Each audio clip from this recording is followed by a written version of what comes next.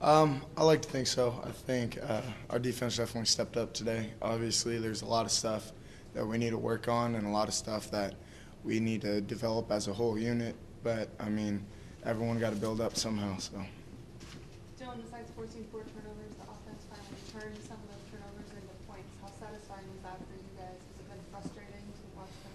Um, it hasn't really been frustrating. We know that their job's hard, just as hard as our job. And as a defense, our job's completely to give the offense the ball and give them those opportunities they need to score. If they need 100, we'll give them 100. So um, it, it definitely felt great that our offense was able to capitalize on the opportunities, though.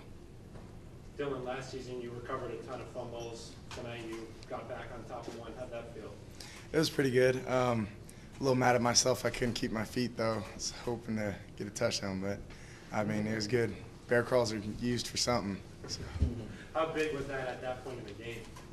It was. It was definitely. Uh, I felt like it changed momentum. It was definitely needed, and I mean I was lucky that the rest of the D line, especially Rue, came out with that big hit, and I was just there and lucky during the opportunity. Yeah. Dylan, it seems like your the defense comes out to play, you know, like the most opportune moments. Do you feel like every time you guys went out on the field that you guys can make a momentum-changing play? Absolutely, our defense. We we really choose, or we go in thinking that we're going to change this way. Especially uh, a lot of these big games that we've been having. Every single game that we've had has been a brawl and really a, just a big fight to the end. So our defense has come out and wanting to change the momentum and bring it back on our side so that our offense has the best opportunity to score.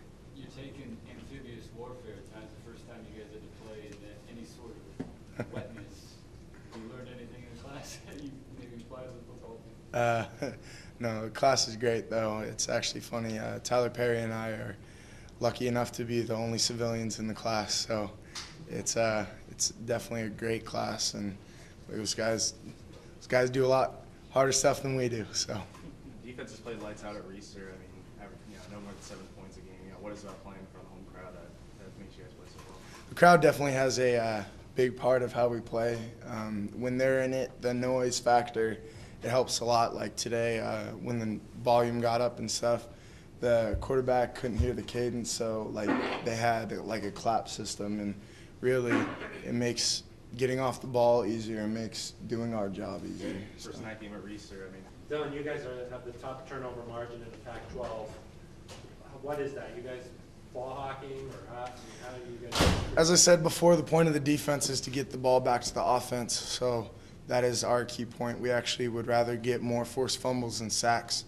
Um, a lot of defenses might look at that differently, but uh, that's what we need to do. And if you get in that position, you got to get the ball out.